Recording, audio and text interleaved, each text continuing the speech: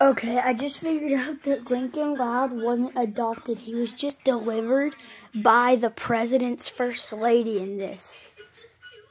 And just minutes before,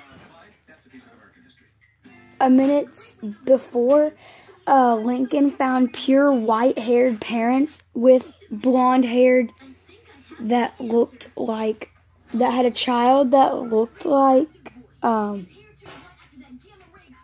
ugh, whatever.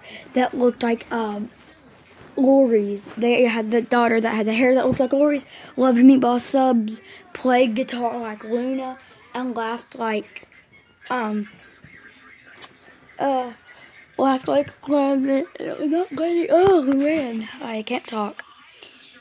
Well, that is the ending of my not theory, but I thought that was actually going to prove he was adopted, but well, I was wrong. Bye.